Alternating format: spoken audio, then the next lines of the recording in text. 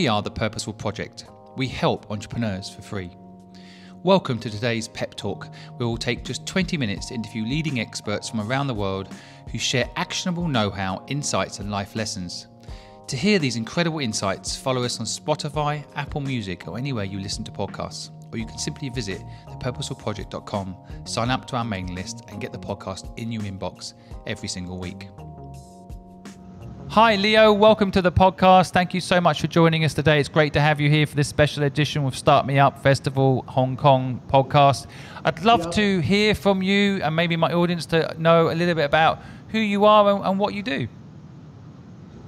Thank you so much, Simon. Um, it's uh, my honor to join this uh, podcast section. Uh, my name is Leo, Leo Lo, uh, founder of Asia Prop Tech. Um, this year, because of Start Me Up Festival, I invite Asia PropTech to be one of the main event organizers. So it, it's great that um, Invest Hong Kong, uh, the Start Me Up Festival Hong Kong uh, has finally, we have the uh, prop tech vertical within the festival. So uh, in our event, um, we will uh, we actually invite a lot of uh, prop tech influencers around the world um, to share about their insights on uh, what PropTech is and uh, what PropTech is going on. Uh, we have investors, we have real estate companies, we have startups. Uh, we also have a uh, half-day program that target for the youth, uh, the, the, the, youngsters, um, because they are also interested in what PropTechs are developing now. So um, maybe for the listeners that don't know what prop tech is, can you give some examples or, or explain it a little bit? You mean you mean prop tech, right? Yes. Yep. Um, actually, you know, prop tech is kind of a, to me, I think it's a is a buzzword. Uh, we so far we don't have a very uh, a solid definition, but it involves any uh, technologies or any business model innovations that can facilitate the real estate and construction industry. So in our industry, we, we actually, we, we, we are talking about a PropTech 3.0. So that means uh, we basically we transform from a PropTech 1.0, 2.0, and 3.0. So in the industry, I think we, we have already um, put this on the table for discussion over uh, eight years. Um, it depends on which technologies you're using uh, or which business model innovation you, you, adopt in the real estate and construction industry. For example, uh, co-working would be a prominent example in prop tech. And uh, talking about AI, talking about data analytics, um, talking about uh, blockchain, I think there would be uh, many different kinds of applications uh, in the real estate and construction industry. Will it uh, elongate into things like mortgages and how people buy property? I mean, is it all going on the blockchain? Is that is that is that the future? Yeah, uh, because uh, you know, um, brick and mortar business is kind of a, a very traditional business. Uh, somehow uh, this sector is lagging behind compared with uh, finance industry. So they have fintech. Uh, for the healthcare industry, they have healthcare, uh, health tech. Um, your, your example is uh, one of the uh, uh, prop tech solutions. That means uh, if we can use a blockchain, for example, to record some property titles, uh, compound with the, uh, say, cryptocurrency, and then we can, basically we can do real estate financing or mortgaging by the blockchain platform in a very seamless um, situation compared with the old times. For example, uh, in Sweden, uh, they have uh, completed a blockchain uh, program. That means um, they, they're now recording the property titles on blockchain and they work with the local telecommunication, telecommunication companies and also work with lawyers. They shorten basically the time for transferring a property titles involving, uh, involving the uh, uh, buy and sell, involving the mortgaging, uh, from traditionally we need maybe one month to complete a transaction, but now they they just um, maybe for two days, three days, they can complete a property title transfer. Mm. So that's an example of PropTech. Do you think PropTech's going to disrupt anyone in particular? I mean, I, I feel like the model of buying a house and, and, and buying a flat in Hong Kong, for example, or it's is is out of the reach for a lot of people. But you know, if you positioned it like a Bitcoin, you could buy a fraction of a house, right? Or you can is is that the future? Do you think within within the property world? Uh, yeah, I think we uh, so far, honestly, I don't think we have seen any uh, completed case on this. Uh, what you mentioned about fractionalize the property uh, titles or investments, but people are working hard to go for this direction. So uh, many people in the prop tech industry talking about to democratize, you know, the prop uh, the property investment. Mm. So before any innovation, you know, uh, taking Hong Kong as an example, I'm based in Hong Kong, you know, Hong Kong's housing price is uh, the number one in the world. Uh, people always you know, uh, think, uh, face the difficulties in buying homes. Mm. Uh, but with uh, prop tech, probably they can do the investments, they can buy home in a more, you know, um, uh, cost-efficient way. Mm. And in terms of uh, the economics, for example, um, it can save a lot of transaction cost. So that means um, that would, I, I, can say it enables the real estate transactions uh, but so far, uh, it's still a journey to go to disrupt or totally disrupt the industry. Mm. So I, I, I, while saying that uh, it enables the real estate uh, transactions mm. by PropTech. Your day job um, maybe tell the audience a little bit about what you do during the day. But I know you you you support and invest in prop tech ideas. Is there anything that pops out that you're involved in now that you think, wow, this is this is really exciting? All right. Um, actually, you know, I'm not coming from the tech background. Uh, I'm a real estate uh, background. I'm, I, I, I was trained as a uh, what we call chartered uh, estate surveyor. So suppose I work in a real estate investment, uh, the land administration sector. Uh, we do uh, property consultancy, for example. So this is my uh, uh very basic uh, daily job. But uh, because of prop tech and because of my domain knowledge in this real estate industry, so my company, I'm running different arms. one of the entities are focusing on the prop tech investment and also the prop tech consultancy services. Mm. So a lot of the people that listen to this podcast are young people thinking of starting a business or have a business and wondering how to grow it. I mean, I always like the uh, story of like, you know, you could buy a Tesla or you could buy Tesla shares. You know, the Tesla might have yeah. gone half down in value, but the Tesla shares have gone up 10 times, right? So do you think like property, for example, going forward, it's always been so, as you say, the traditional model of buy a property, hold it. But do you think that it's now going to be about investing in businesses that invest in property as opposed to buying property direct? Do you think that's the future? Yeah, I, I do think that's the future because um, uh, compound. I mean, I mean, uh, in terms of prop tech, because I mentioned that um, uh, no matter what technologies you're using, um, anything that can facilitate the real estate transactions, uh, that will be regarded as prop tech.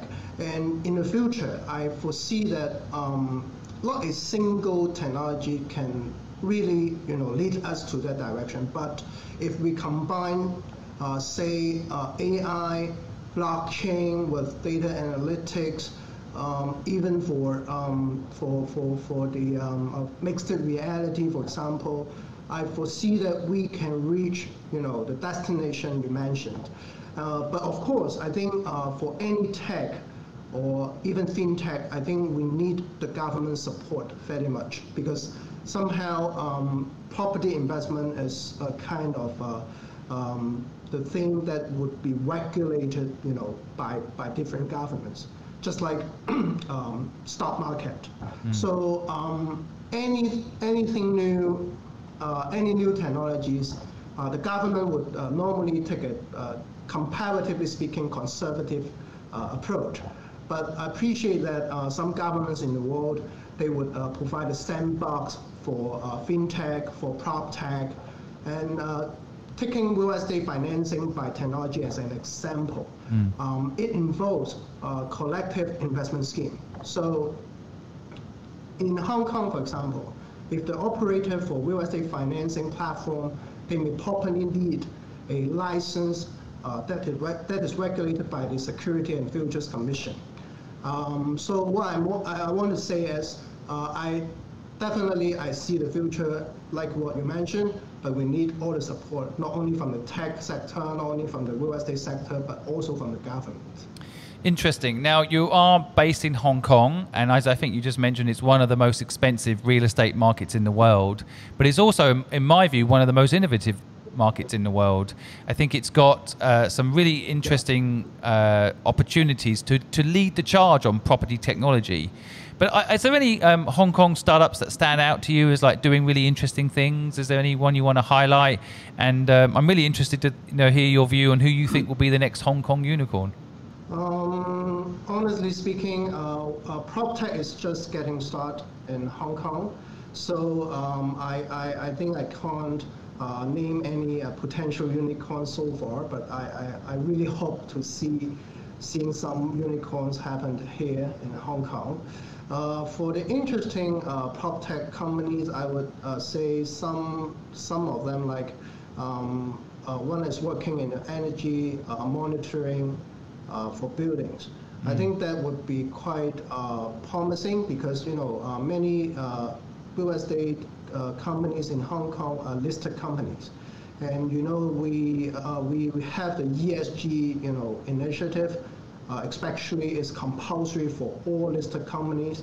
That means it, they, they need to focus on uh, how, using more technology or innovation for making themselves green. So anything like energy monitoring or any technology or prop tech that can help uh, for the energy saving for buildings, that would be great and maybe a potential unicorn. Uh, for the real estate investment side, uh, I understand that uh, some companies are working hard on what we call uh, automated valuation models.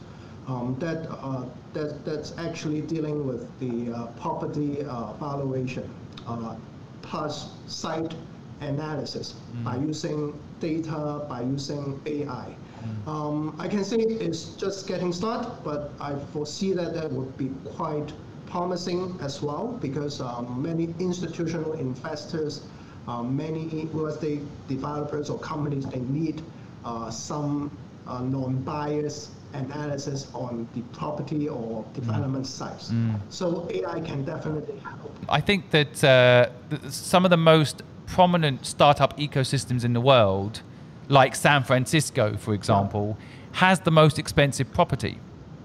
Right? It's some, some, there's actually a correlation yeah. between yeah. opportunity and property prices. Right? So, so I think Hong Kong is an amazing market to go and start a business because it's got a valuable property market. There's a lot of people with money to invest in your business, for example. Yeah, I, actually, I want to add one point because um, uh, regarding prop tech, I think there are two hubs in the world so far. One is in London, okay, and uh, that is uh, the hub of prop tech in Europe. And the other one, uh, people would say uh, New York uh, in North America, in the US. And but back to Asia, I think so far we don't have a particular hub for prop tech. But I I can say as a Hong Konger or as a guy based in Hong Kong, I think uh, Hong Kong would be uh, quite uh, potentially being uh, would be the hub of prop tech in Asia, given what you mentioned, uh, the property transactions is uh, very vibrant here, uh, very frequent, and the amount, I mean, the sector is also huge. So that would be, uh, I think, Hong Kong plus uh, uh what we say Greater Bay Area, mm. that is the southern side of uh, China, mm. I think would be potentially the hub of prop tech in Asia. That would be a great market. Yeah. Yeah. So I know, I know. Um, sorry to go back to the same question, but you know, is there any prop tech company that stands out that you think, wow, this one's really interesting? Yep. I think um, uh, I want to mention uh, one company called Entrack. Um, they are doing uh, what I'm, i just mentioned about the uh, energy uh, monitoring things uh, for buildings.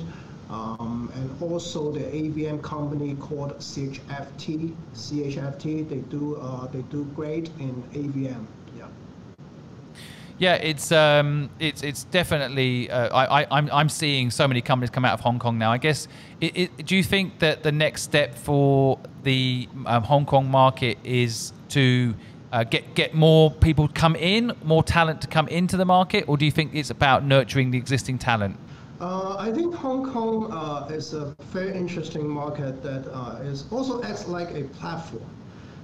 so answering your question, I would say, uh, as I know, for example, in, in my connections, because we, we, we often do uh, some collaboration with the European prop tech uh, circles, um, many European prop tech companies, they also want to expand themselves and they would choose Asia. And after they chose Asia, they would like to come to Hong Kong because um, they would think Hong Kong is a kind of stepping board uh, for them to do business in China or even the Southeast Asia. So I, I would like to say is um, definitely there will be more talents coming to Hong Kong to develop a prop tech. Um, that's happening actually. Some years ago, one to two years ago, I met people in Russia, uh, in, in, in, Finland, uh, in, in Sweden. I think I, I met them again in Hong Kong after, after one to two years because they, they decided to move to Hong Kong already. So um, definitely, I think uh, talents are coming. Um, we should grab the chance uh, to making Hong Kong as a hub. I, I agree. Well, um, I want to thank you, Leo, for coming on and, and sharing your knowledge. And uh, just before we close, any words of wisdom for aspiring entrepreneurs? All right. Um, I think um, to share uh, a, a, kind of a wisdom um, that because uh, of my identity as a Hong Konger, I think in, in Cantonese, you know, we speak Cantonese. Uh, one thing uh, for entrepreneur, I would say uh, we need to uh, um, that means literally means you, you need to know how to behave as a man or as a as a woman. Uh, of course, it's not uh, just just doesn't mean uh, just on the on literally mean this uh, service uh, meaning, but it, it implies that as an entre entrepreneur, I think we need to handle many many other things. Not only your solution, not only your business model, but also you need to work with different people, uh, including your staff. so I would say soft skills or how to behave yourself, that would be uh, the very important thing to, to be a successful entrepreneur. Mm. It's all directions, not only your business model. Yeah, I, I um, I've you know, having lived in Hong Kong for 20 years myself, I always, I always love these insights, where the way language, the nuance of language, and what it means. But uh, my, my, my, I guess my translation is um, do the right thing, be a decent person. Yeah. You know, uh, yeah. treat, yeah. treat, treat people well all you've really got is your legacy, yeah, right? You know. Uh, try to manage uh, the people around you uh, smart. Yeah. Yep. Yep. yep. Wise words, Leo. Um, it's well, it's a pleasure to chat to you today. Thank you for what you're doing to support Hong Thank Kong. And no, and I and I love property tech. Yeah. So keep us informed as uh, the technology advances and what's going on. And we'll put your links down below. Anyone that's listening to Leo wants to know more about what he's doing, we'll put Leo's links down below. But Leo, thank you so much for coming on the podcast today and sharing your, your knowledge. Thank you so much, Simon. Thank you for listening to Pep Talk today, powered by the Purposeful Project. If you found it interesting, please give us a review and follow us. In addition, you can sign up to our website and get loads more free entrepreneur knowledge, as well as get access to Pep Talk and the Purposeful Project podcast direct in your inbox every week.